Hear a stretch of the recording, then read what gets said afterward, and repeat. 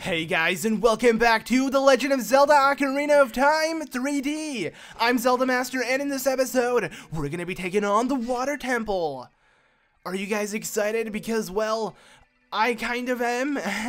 uh, this temple is dreaded by many as the worst temple within any Zelda game because for some reason, it's really confusing to many people. I'll be honest, when I was younger, I was confused by it, but it's it's not that hard once you get the hang of it. Actually, I'll, I'll, try to make it look as easy as possible. Hopefully, I can deliver with that. But Anyways, once you do enter the water temple, what you want to do is you want to head into this room. Now, in the 3DS remake, they make it obvious and show you that there's like a water level here, allowing you to know that this room will lower the water level all the way to its lowest form. Also, those glowing lights. So it's just like, head inside me, I'm shiny and stuff. So it makes it easier for the 3DS version, but in the N64, it's kind of hard, maybe. Um, but anyways, As you can tell, someone's waiting for us. Who is this? Oh, snap. Is that Ruto? It's been seven years. So, oh, you. If I'm right, Link? You're Link, aren't you? It's me, your fiance, Ruto, Princess of Zoras. I never forgot the vows we made to each other seven years ago. You've, uh, you're, you, you're a terrible man to have kept me waiting for these seven long years, but now, since it's not the time to talk about love, I'm sure you have already seen it. Zora's domain, totally frozen, a young man named Sheik saved me from under the ice, but my father and the Zoras have not yet. I want to save them all. I want to save Zora's domain. You, you have helped me. This is a request from me, the woman who is going to be your wife. Link, you have to help me destroy the evil monster in the temple, okay? Inside the water temple, there are three places where you can change the water level. I'll lead you uh, the way. I'll lead the way. Follow me. Okay.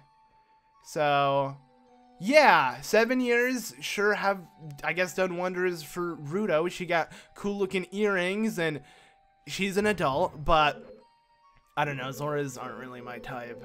I don't really care that I'm engaged somehow for getting the Zora Sapphire. I ain't marrying a Zora. I'm just saying.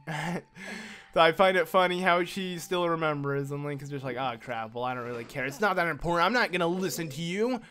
I'm gonna follow you, and well, this is where things get a little uh, iffy and, and not uh, not the greatest. So, um, how this temple works is you're supposed to lower and and rise the water level back and forth and just keep changing the levels and it makes it really confusing and it's not fun and there's a lot of keys you have to collect and then on top of that if you're playing the N64 version um, it's not even the slightest of fun because uh, what sucks a lot is the fact that you have to pause to equip your iron boots. Unlike in this game, the iron boots are a normal weapon. You don't have to like go to gear and put them on and that made it really annoying to take on the Water Temple within the N64 version. So for the 3DS remake, they changed it. They made the Iron Boots an item. We easily put, pop them on and off within seconds. So the Water Temple becomes so much easier, so much faster, and uh, it is definitely. You can, it just feels so much better. So yeah. Anyways, once you do get the dungeon map, jump back down here. Now that the water level is lowered, we can uh, investigate the lower floor and not have to worry about water. But you can either use Din's Fire or light the two torches by shooting arrows into them. And here we can actually pick up some more arrows. But let's go ahead and enter this door. where We're going to find clams. Oh, no. All right, you kind of want to use hook shots when fighting these guys because... I mean, I highly suggest not wasting ammo on those enemies. They're not really much of an issue, but yeah, once you kill them, go ahead and open up this chest and pick up your very first small key. We're going to be getting a lot of them, we're going to be using a lot of them, and uh, it's going to make the temple a little annoying because you're going to have to be like, oh, I need to get this key, this key, this key. We gotta make sure to get them as soon as possible. Also, keep in mind that there are five gold Skulltulas we have to look out for, just like, you know, the previous two temples. So, I'm gonna make that also on my to-do list to make sure I get them, because I never want to forget a Skulltula within a temple and have to backtrack. It's not fun to backtrack to temples, but when you're underground, your only way of combat, or underwater rather, your only way of combat is using the hookshot, so you want to use them on these enemies and such, and hopefully they won't give you too much trouble. But anyways, here we are in this room. We just took a straight left from the previous room. And now we are here where this dragon thing lies. It's a cool, like, dragon pillar that you can summon. Also, here I accidentally hit this switch. This switch opens up an area to where Gold Skull lies. This is pretty much all there is within this room. But it's worth it, of course. So there we go, we got ourselves a gold skull. Now, I believe in the N64 version, the switch wasn't located behind this dragon pillar. It was actually inside this wall, or behind this gate. And you had to hit it with your sword, and the sword would clip through and actually activate it. I'm not too sure. If you have the N64 one in mind, let me know. I've been playing this one uh, ever since its release, so I don't remember too much if that was the case with the N64 version. But regardless, uh, you just want to hit a switch, so it doesn't really matter. Either either way, the the games are other than that almost identical. Uh, yeah, there's not really much of a difference. So after you get that, go ahead and start pushing this block here forward. And uh, by doing so, you'll be able to discover a new path to take on within the Water Temple. And so far, so good. We haven't really tackled much of it, but as long as we kind of explore each area we can, this is not going to give us trouble at all. So, yeah. I'm going to try my best to make it look as easy as possible. So, because that's what I do. but anyways, in this room here, want to go ahead and hit this. Also, I love the music. Man, the music is uh, amazing for the water temple. It's really calm. It's really nice. Um, and I like it. It's just it's something I would want to play when I'm just sitting in my room chilling. I don't know why, it just is. It's just that type of music. But in this room, there's a really heavy current that's going to be pushing you around in circles. You want to put on your iron boots, make your way to this ledge, and then hit this switch on the dragon mouth. And it will open up this for a short period of time. So go ahead and make your way through here. And well, you're gonna find a secret chest where we can pick up a small key. Also, if you couldn't tell, there's another switch on the opposite side. This one will reopen up that gate. So we're gonna go ahead and drop this, a bomb, so it can give us time to quickly make our way past here. I'm gonna ignore these freaking enemies because I'm not really in the mood. And then we shall swim our way out of here. Now that we have two keys, we're gonna start using them. Let's go ahead and leave this room before the uh, door re-shuts or whatever. But now, oh, okay, that was dumb. Also, my hookshot range is absolutely trash, so I have to be like really close to objects. Okay, hey, Tektite, no, no, no, no, no, no, no, no. Stop it. Bad Tektite. Freaking hate him. but yeah, okay. Now that we have killed that Tektite, we shall go ahead and uh, hook our way up here. And we'll keep going on. As you can tell, I'm constantly putting on my iron boots on and off. It's it's ridiculous, but it's fine. All right, so the only area we haven't explored is this room over here that you instantly have to dive in the water, at least on the third floor or the bottom floor. But you can't do anything within that room until really later on within the temple, so I'm just going to ignore it and not show it off. But once you get both small keys, or at least two of them, you can only get two so far. You want to go ahead and open up this door here in the center and start continuing on. Now, this room is also lit by some sort of light, indicating that there's another area that will change the flow of the water and kind of change the level. So this room here is going to make the level in the center, so kind of like on the second floor instead of the bottom, and you're going to be rising the water to that point. Um, that's pretty much it. Like I said, this light source is only added within the 3DS version just to make the temple easier because I know Nintendo must have, you know, felt bad, I guess, for how bad the water temple was because everyone hated it. So yeah, that and the iron boots just literally made this temple a normal temple and super easy and fun and just, you know, happy-go-lucky times happen here. Not really, but it's just so much freaking easier means by hitting the switch, we're gonna have to fight a horde of enemies. Sadly, we have to use our freaking hookshot to kill them all. Now, it's kind of easy to kill all these guys with your hookshot. Just kind of lame how you have to use a hookshot to do it. I don't know. I'm not too big of a fan of just only using hookshot. I wish I could use my sword underwater. That would have been cool, but sadly, it's not able to be used within this game. But This here is going to lead you to another special key.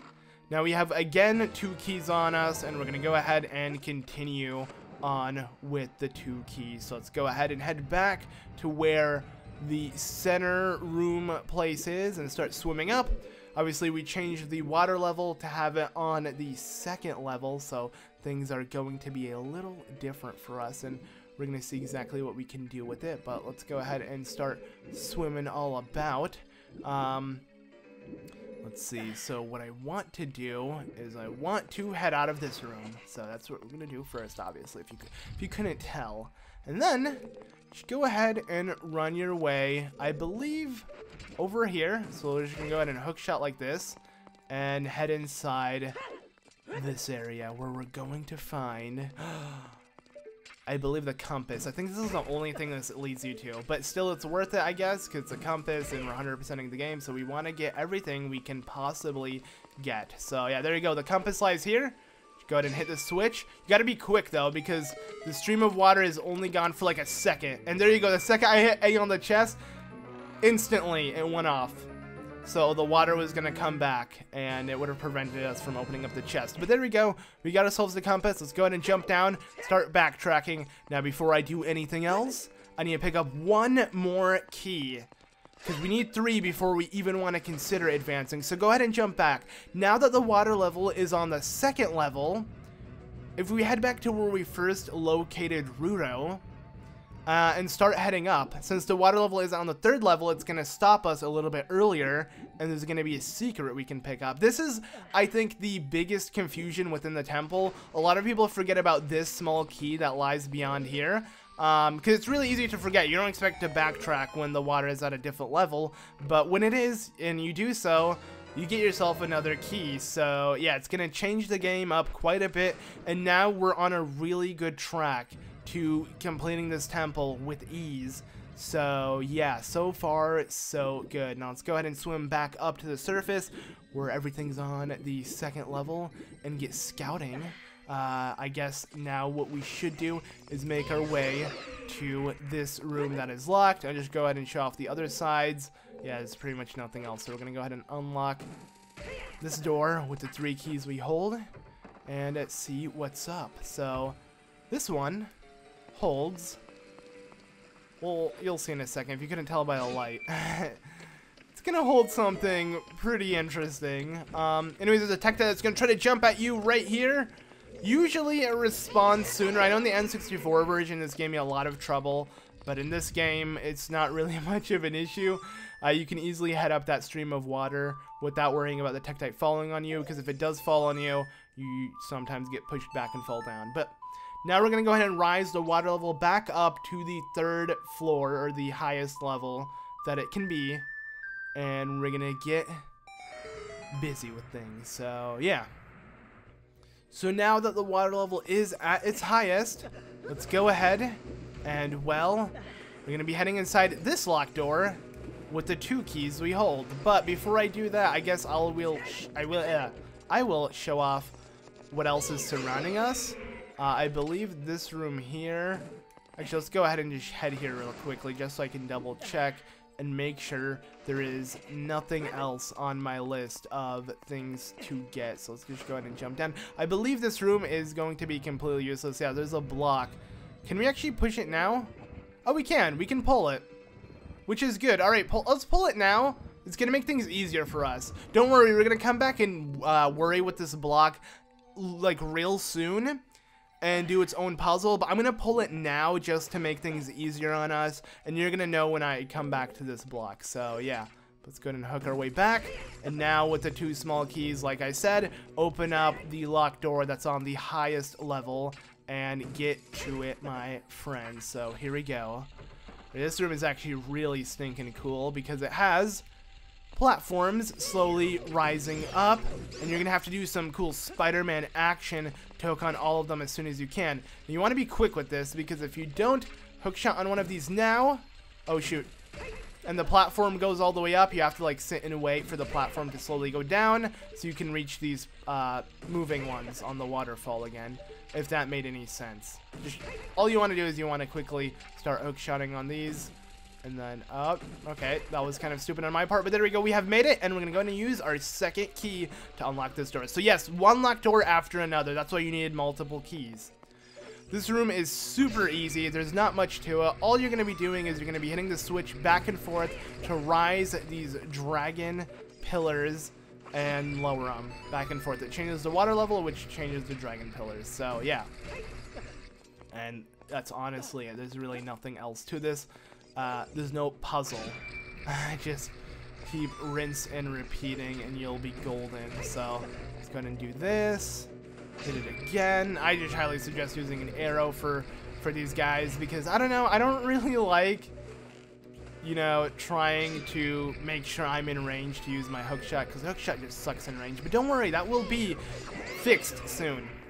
Anyways, here's a like-like. Hook onto him. And then make your way to the other side instead of hooking up here and having him suck your blood. But let's go and enter here.